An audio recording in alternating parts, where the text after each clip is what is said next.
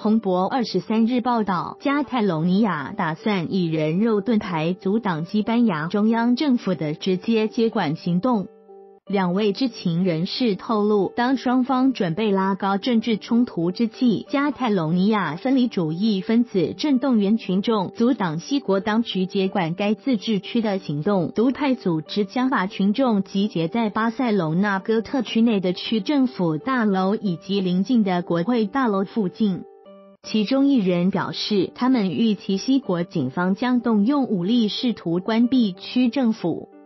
加泰隆尼亚自治区议会内的主要独派领袖克罗米纳斯 （Luis Corominas） 则在巴塞隆纳的记者会上说：“我们呼吁和平和民主的保卫机构。”